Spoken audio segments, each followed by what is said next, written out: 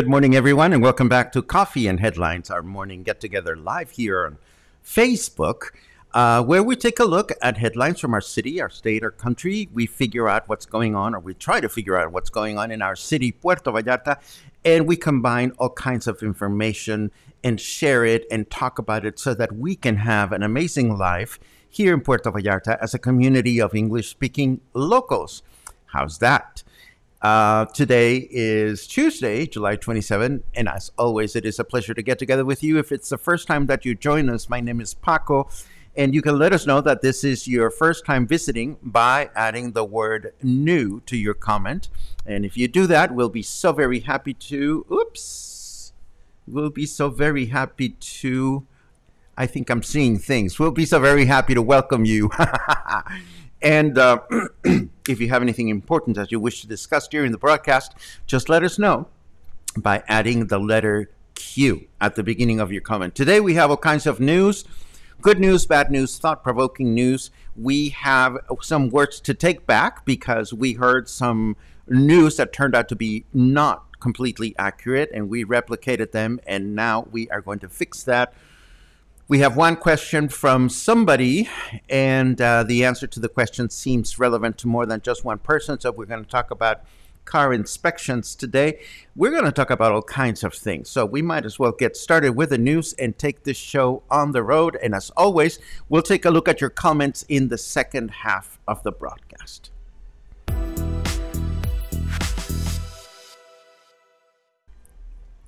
Well, um, this is starting to sound like a broken record, but it is a good broken record. Response to the vaccination campaign for folks uh, in the ages of 18 to 29 continues to be extremely favorable based on yesterday's attendance at La Lija and at the Naval Hospital here in Puerto Vallarta. The government of Jalisco also began distributing vaccines in nearby municipalities such as Cabo Corrientes, Tomatlan, Talpa de Allende, Mascota, and San Sebastián del Oeste, all thanks to the insistence made by Governor Alfaro with the federal authorities to give priority to vaccinations for the younger population in our state. Good news for everybody. And also, we discovered, we read rather, that um, vaccination for folks 18 plus in Bahia de Banderas, uh, just north of Puerto Vallarta, begins today and will continue until Thursday. That said, whereas vaccination for the same group here in Puerto Vallarta has been done com, uh, first come, first served at two different locations. In Bahia de Banderas, vaccination will take place according to your last name in five different vaccination modules with um, last names beginning with letters A through F going today, letters G to M going tomorrow, and letters N to Z going on Thursday. So if you are living in Bahia de Banderas and you're thinking of getting vaccinated, um, It's not necessary that you rush to get there, at least not according to this news item. If I scroll down, there is a handy little chart that'll show you where are the locations that you can have access to in Bahia de Banderas.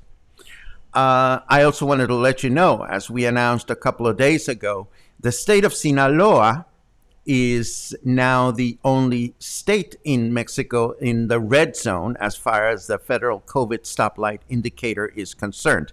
To that effect, and starting on Monday, August 2nd, carrying a vaccination certificate will be mandatory if you wish to have access to public recreational spaces. Again, this is in the city of Mazatlan, not here in Puerto Vallarta, but I did want to bring it up the restriction was put in place by Mazatlan Mayor Luis Guillermo Benitez Torres, and it is the first, the only rather, the only such restriction in the entire country that we're aware of. We talked about this earlier in the week as the possibility of Mexico getting into um, the business or habit or restriction of expecting you to show this um, vaccination certificate in order to have access to something.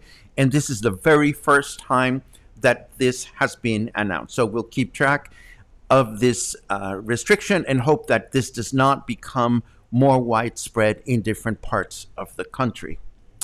Now, let me switch over to this one. How good is Jalisco's public transportation service? Well, much better than in 2018 when the public approval rate score for our bus system throughout the state was only 5.6. Um, during yesterday's press conference, Governor Alfaro uh, announced that uh, now the score for public transportation in the state is higher. It is up to 7.5. So it's the first time during his administration that we pass the score. And he spent a lot of time mm, uh, talking about enhancements to the public transportation network in our capital city and how new routes and electric buses are both providing enhanced mobility throughout the city and helping alleviate the effects of pollution and global uh, warming. And by the way, Governor Alfaro now seems to be keen on offering weekly press conferences every Monday, late morning. This is the second week in a row that we um, follow this particular uh, press conference. And during the press conference, Governor Alfaro also unveiled the new transportation website Mi Transporte, presently providing information for bus routes both in Guadalajara and also in Puerto Vallarta. The Guadalajara routes are enhanced with Google Maps, which show you the nearest bus stop to wherever you happen to be. And both cities show places where you can acquire and recharge your bus card. It's pretty nifty. I took a, a, a nice exploration of the website. And if you click on, on, Puerto Vallarta, you very quickly can see what the different um, routes are and when you can purchase uh, the, the pass so that you can get on and off the bus. There are all the routes in Puerto Vallarta clearly explained in case you are taking public transportation. Um, let's see what else. There was a snafu during the, the press conference, actually, when uh, uh, a local reporter asked Jalisco's transportation secretary, Diego Monraz Villaseñor, why it is why it is that not all buses were being used here in Puerto Vallarta. And the transportation secretary answered that all buses were being used. Um, but as we recently discovered and we confirmed yesterday, Unibus PV, which is the company that provides our public transportation, is currently only using 255 buses out of their fleet of 355. So we have 100 buses that are not being used right now. Why is that? Well, Unibus PV director Luis Alberto Romero stated that there is no single public transportation company in Mexico working at 100% right now, as it is not financially feasible, and it won't be until school goes back in session. Why? Because of all the people that use public transportation during um, uh, the, when, when school is in session. Meanwhile, in an effort to have a tighter registration of all drivers of all taxi platforms such as Uber and Didi and Cabify, The state of Jalisco will begin a process through which all drivers will be expected to register their vehicles in order to receive a holographic sticker validating that they are working in accordance to the guidelines of the company that they represent. This is being done to have a clearer understanding of just how many vehicles are out there uh, providing the service and to prevent drivers from providing the service unlawfully. And of course, I am referring to the so called uh, pirate drivers who just decide to go driving their car and they become, uh, um, you know, taxi drivers, but they're not registered with anyone. They're not paying taxes or having any kind of financial responsibilities. And uh, so there's a lot of transportation related stuff going on in uh, in the state, and um, I'll get to. No, no, never mind. I'm starting to, to, get distracted by your questions. Some of them are really good ones, but uh, we won't get there just yet. Uh, while we're on the topic of transportation, a viewer asked me this question yesterday, and since I think the answer might be useful to more than one person, we're answering it here. The question is Hi, Paco, do you know if this is an empty threat or just another way for the police to get a personal donation? And this refers to a news item saying that Jalisco will begin to uh, go through car verification um, starting on August 1st. And I am happy to answer that it is neither an empty threat nor a case in which um, the police is looking to get bribes. In fact, it is nice to know that the state of Jalisco is heavily invested in providing solutions to avoid the changes brought forth by climate change and, and, and global warming. And uh, one of the ways in which the state of Jalisco is doing this is to ensure that cars that are circulating in our state are in top condition, are properly inspected, and are working such that they are not um, contaminating more than they should. And this is, of course, something that is going to help break down illegal, um, not illegal, but there was a whole group of. Um, um of inspection companies that were monopolizing this. So we also know that all this verification and uh, for vehicles is not going to happen in in Puerto Vallarta just yet. It is just getting started in the capital city. But again, this is not an empty threat. It is not a way for the police to get a bribe. It's simply uh, our state trying to do good for our planet. And indeed, yesterday's uh, press conference with Governor Alfaro had a lot to do with gorgeous new uh, all electric buses and things like that that are coming to the capital city. And in fact, the program is so ambitious that he um, mentioned that the pilot program that is being put in place in the city of Guadalajara is going to be taken to some kind of ginormous transportation fair in Oslo or some Scandinavian country. I forget the details, but the fact is the the governor is very very committed to um, improving transportation as it relates to uh, pollution and contamination. Um, but as long as we're here, I also want to clarify that Governor Alfaro said something that we repeated. Um, so we're going to take it back because his team was quick to clarify this false statement he made this past July 24 um, during his Saturday press conference regarding the return to classes in our state. Governor Alfaro said that the World Health Organization had reclassified COVID 19 as an endemic inspection, and this is not precise information. The World Health Organization did make a statement in May of last year saying that COVID 19 could become endemic. Uh, but this change in definition has not happened just yet. We repeated this statement at least twice here at Coffee and Headlines, and we wish to retract it. We do know that it's here to stay, at least for a while. We do know what the restrictions are in place. We do know what we can do to best counteract uh, what's going on and take personal responsibility for our actions. However, it is not precise to say that uh, COVID 19 is now endemic, and we apologize for making that statement and reflecting the statement that our governor made. Now, let us turn over to the weather, and then we continue with a couple of curious news.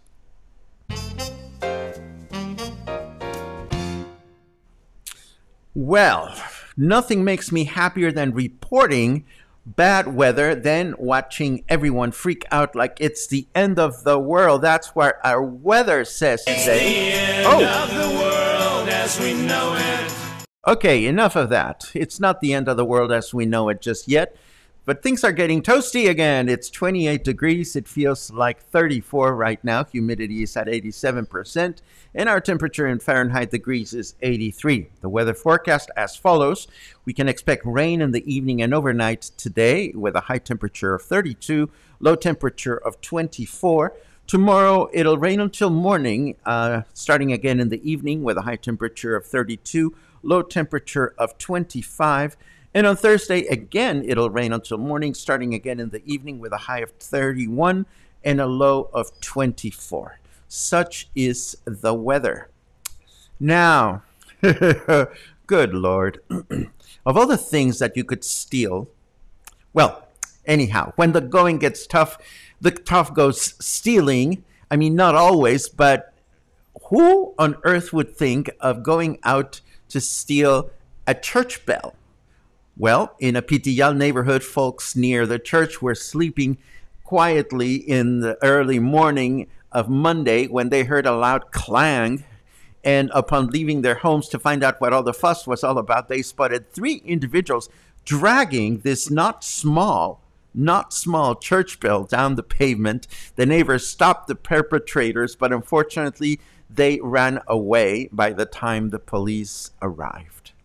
And as long as we're talking church bells, we should also let you know that Mexico's independence celebration is coming in a month and a half. However, Governor Alfaro has already indicated that all Independence Day parties in the entire state will be canceled and all public plazas will be closed just as last year. It is not clear whether there will be Independence Day celebrations elsewhere in the country, but our governor is, of course, not taking any chances. For that matter, uh, he also informed that Guadalajara's very popular Fiestas de Octubre, or October parties, will also be canceled this year. And as an aside, uh, when Governor Alfaro was asked if there will be further restrictions implemented in Puerto Vallarta due to the current increase in COVID cases, the governor replied that there will be no shutdowns of any kind. However, the state's health board is presently considering capacity modifications for places in which people tend to gather without their face masks, such as bars, and that such modifications will be announced this coming Friday. And our last news item today, before we get into chit chat mode, has to do with the fact that even though it's only Tuesday, uh, we'd like to remind you that uh, the opening of Puerto Vallarta's new city museum uh, is going to be this Saturday. They open the doors to the public for the first time. Uh, this coming Saturday from 9 a.m. to 5 p.m. We, of course, are going to check things out so that we can document the opening and show you the new space here at Coffee and Headlines. But if you are in town, you may want to show up and check it out yourself. Now, let me very quickly rewind all your comments just to see who's in the house, who's saying hello, uh, and who's joining us this lovely Tuesday morning. Uh, oh, thank you very much, David. Got some Butterfingers already. We'll try to get more this weekend and then coordinate getting them to you while I am there. Thank you so much for increasing my waistline. But I love my gut, my Butterfingers, my gutter fingers. that was a bad Freudian slip. Uh, let's see what else we have. Lots of good mornings as always. Mihal, it's great to hear from you. Uh, Lynn says Taco Tuesday. Unfortunately, we will not have Taco Tuesday today. I am staying a little bit on the cautious side this week, I must confess, but I know that sooner or later I have to leave the house. And when I leave the house, I will leave the house with tacos in mind. And if I happen to find myself near a taco place that we haven't discussed, you know I will be bringing my camera along. My sister joins us this morning, and I always feel good when my own sister is here. Te quiero mucho, hermanita. It's great to see you. Uh, let's see. How's Mexico's medal count at the Olympics? You know, Scott, I must confess I am not following closely and I couldn't answer your question. I see that somebody else said something about about doing keeping the scores, and I'll be I'll do some research. I'll do some research, and I'll be happy to report on that tomorrow. Um, let's see what else we have. Great news regarding the continued turnout at La Lija. Yes, I wonder what percentage of those people showing up are actually in the 30s and 40s and maybe finally woke up to smell the coffee and headlines. Well, Logan, we don't know the percentages, but I am just happy that people are responding, you know, regardless of the age. I think it's just wonderful that that people realize that the vaccines help, you know, that the vaccines are not bulletproof, but that you know being vaccinated is is a good thing. Um, uh, Hugo Lopez Gatell, I forget the exact statistics, but I believe he said that in the past wave of the pandemic, the chance of dying, the percentage of people that could die from COVID was like 22%. And now, with all the people that have been vaccinated, the chance of dying from COVID is only 2%. So we went from 22% to 2%, and that is what the vaccines bring into the equation. You know, the fact that we are getting our vaccinations um, means that our bodies are better prepared to deal with COVID in the case, in the eventuality that we happen to catch uh, COVID 19. Uh, let's see what else we have. I am so happy that some people have a chance to watch the um, to watch the Olympics. Uh, Quintana Roo, I thank you very much for that, Linda. I was not aware of that. Quintana Roo is also requiring proof of vaccines to get into bars and restaurants. Well, again, it's um, it's I, I certainly hope this does not happen in other places. What vaccines are they using now? I think they're using Sinovac right now. Uh, let's see what else we have. Oh my goodness, Dan is is retiring. Oh my goodness, my dear next door neighbor is retiring, which means that you hopefully will get to spend more time here, not have to go back to Canada or I mean to the United States every uh, every year. Um, so I hope those are good news for you, Dan. I really really hope so. Uh, let's see what else we have. When is school back in session? The end of August. I believe it's the last day of August. Paco, would you please start sharing information of participants and athletes of Mexico who are participating in the Juegos Olímpicos, por favor? Okay, I will start keeping track of the medals starting tomorrow. Um, let's see what else. Crazy buses are packed and people risk their safety during this pandemic to get to work shoulder to shoulder as our numbers rise. This is true, Jeannie. We've said this before. If you're hoping to take the bus and the bus looks too crowded, you know, don't take the bus. Either leave earlier or make alternate plans or hopefully find a way to circumvent that challenge because you're absolutely right. I would certainly not want to ride a bus that is overflowing with people. Uh, let's see what else we have.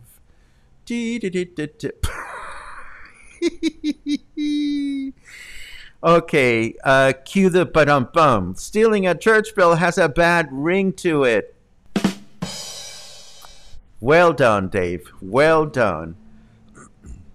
Let's see what else we have.